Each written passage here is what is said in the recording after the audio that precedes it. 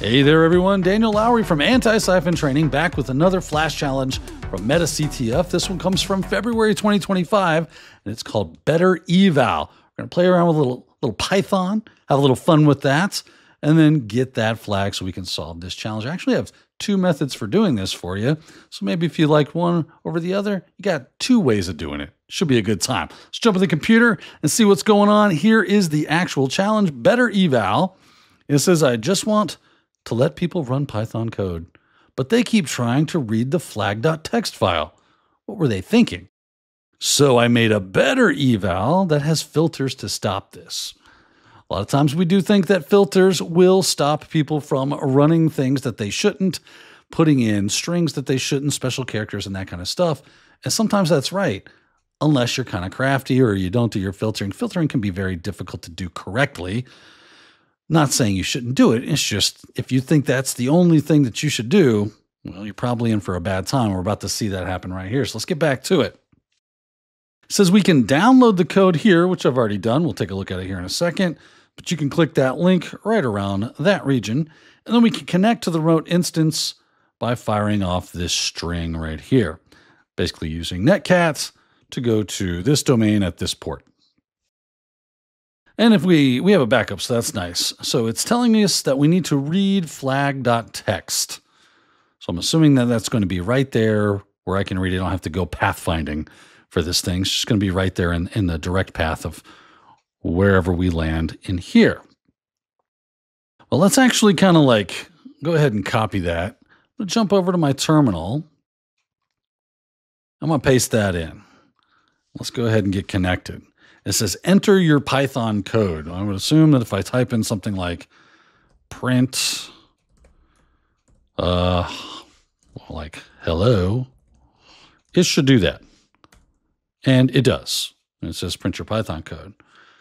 Well, that's kind of cool, but also probably a little dangerous. And let's find out why. And that reason is, is this source code right here we can see that there's a few things going on, not too crazy. We only got, what, 16 lines of code total, and one of them is setting the environment, right?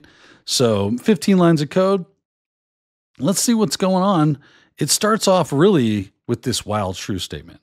While true, we have this untrusted code variable, and we take input from the user, prompting them, hey, enter your Python code. And that's where we saw this. Cool and it's waiting for that input. Then that untrusted code is going to get kind of shoveled off to this better eval function, which is defined up here at the very top of our code. So we have def better eval, there's the function, and it slurps in that untrusted code. Cool. Now, here's where we get to the filtering. Blocked terms. This equals things like flag the plus character, the import function, OS, eval, and exec. And there's a there's a pretty decent filter to keep people from trying to run quote unquote dangerous Python for this little program, right? Then it gets into a for loop for term in block terms. If the term in untrusted code, so it's saying, hey, grab the first term in blocked terms, which is flag. If that term is in untrusted code, which it is, then print, hey, that term is filtered. Then return. Okay, so basically it's going to kind of loop through each word that shows up in that untrusted code. If any of them meet these parameters, well, then it's going to tell us, tell us that it is a filtered thing and return. Then we get this try except block. All right, cool. So try, if we make it past this, if we get past this little if statement, then we're going to hit this try block. And it says, hey, print out anything that you've evaled that comes from the entrusted code. So it is going to run an eval statement of anything that makes it through this part right here. So if we give it Python code, it should run it. If you try to do things like read the flag, it's going to tell you no. All right. And then if something goes wrong, that's what the except is for, and just tells the error and whatever the error was. Straightforward, simple, little yellow different code. We love it. So our job is to get around that that lovely little filter, that blocked terms filter we've got. That's going to be the sticking point. That's going to be our our thing to do. Now, we have a whole list of things that we know we can't do. Can't use flag, can't use plus to concatenate things. We can't import, we can't use OS, we can't use eval, we can't use exec. If I throw any of that stuff in here, it's going to go crazy. So if I try to import OS, you can see that the term import is filtered. Wah, wah. Okay, so what do we do? What can we do to get around this? One of the first things I would want to do is look at what variables are actually available to us. So you can do like globals and just throw that function at it, and it'll show us some of the things that are actually available, like built ins. That's great. That lets us know that we still have access to certain things that are built in to the Python machine that we might be able to use, that we might find useful.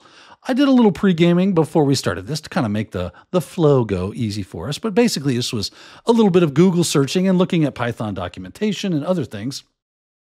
Let's go take a look at what I found. And here are those built-in functions, right? Know, you'll you'll find out real quick that one of them is globals, right? And you can click on this thing and it'll tell you, hey, return the dictionary implementing the current module namespace. For code within functions, it is set within the function, is defined, and remains the same regardless of where the function is called. Cool. We go back. Now we have a few of these to look through, but one of them that really caught my eye was this one, open, right? And now look at this, open, and what's it telling us? File. What mode? Read. Buffering minus one. Okay, I maybe not know what that is. We got some encoding we can set. We can look do things with errors and new lines and close FD and opener none. And it says right here, open file and return a corresponding file object. well, isn't that what we're trying to do? Open a file?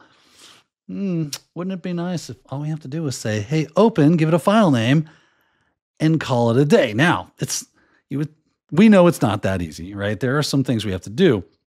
You'll notice it does say that it is returning a corresponding file object, right? If you click on that and hit, there you go, right there, we can see that a file object is an object exposing a file oriented API with methods such as read or writes.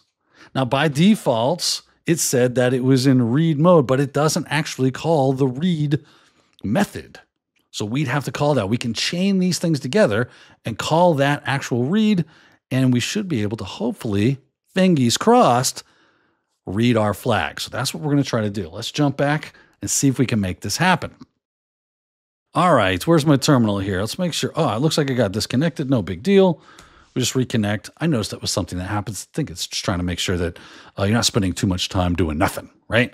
So what we want to do is we want to try to open, and then we're going to open parentheses because that's calling that function. And then we're going to try to go after that flag. So we're going to say flag.txt. And if we close it out, we do dot read give it that, and we file it off. Oh, it says, oh, that's right. Flag is a term that is filtered. We have to bypass the filter. So we don't really know whether or not this worked or not because we've got to do something about that flag operator, that flag word to get around this filter. Now, one of the most tried and true method is to either um, change or modify the actual word you're trying to use, but in a way that you can bring it back together that the, the machine will interpret as one string. Concatenation is typically a great way of doing that. But as we look and we remember, back over here in our code, we can't use that plus sign to concatenate. What do we do? Guess what? It's not the only game in town when it comes to being able to concatenate things within Python. So back and we can see I just did a little Google search, concatenate without plus sign in Python. I found this at tutorialspoint.com. Scroll down, it says, hey, you know what you should try to do? Is we got this join method right here. I'll make this a little, a little bigger for us, right? We got this join method in Python. And they can see they make a string of welcome, another string of tutorials point, and then print string one, which should give you the first thing. And this print string two will give you the second thing. But if we want to concatenate it together, we can follow the join function. All right, cool. We like this. We're going to play around with this. Um, so it looks like we need to do a, well, it looks like a separator of some kind. So we've got a, a, a, a white space character here, but we don't need any separation. We needed to bring it all together. So no big deal. We'll just make it blank. So we'll bring those two uh, double quotes together. Then we have dot join, open parentheses, and then a bracket with uh, string one and string two. Should make our lives pretty easy. Not too bad, right? Let's see what happens if we can make this join thing do what we think it should do. All right, back to the terminal. We're going to try open like so. Of course, we have to do the open parentheses there. And then remember, I'm just going to do two double parentheses and then dot join, which also has an open parentheses. And then if I remember correctly, a brackets that we need to take a look at. Now from here, we got two different strings we're going to bring together. And I'm just going to break the word flag.txt up into two bits. FL separated by a comma, and then ag.txt, close my bracket, close my parentheses for join, close my parentheses for open, do dot read, give it its open and closing parentheses. We're not passing any options, but you'll need those. Hit enter on oh look, success. This is fun, right? Good times had by all. There's our flag. And it was all due to just a few little things that allowed us to bypass our little filtering option. We had the ability to do open because those built-ins were there. So without those built-ins, we would have been kind of stuck. We'd have been host, but they got to leave those built-ins because it was meant to run Python stuff. And then of course, getting around that whole concatenation thing, that was not too bad, right? Join really came and saved the day. Not the only game in town. There's another couple. There's another way I wanted to show you because I just thought this was cool and a lot of fun that we can make this happen. And that is by kind of following the same thing. There is a way to basically call when when we look or when we use Python to call that plus, when we use that plus operator in our Python code, it's actually calling for another operation under the hood, which is called add. I want to look that up for us too. So here's the operator, standard operators as functions. And if we look in here and we scroll down just a little bit, we start to see all these different capabilities like truth, is, is not. Oh, and there's one right there called add. So dot add. And I'm going to use the double under to make that happen.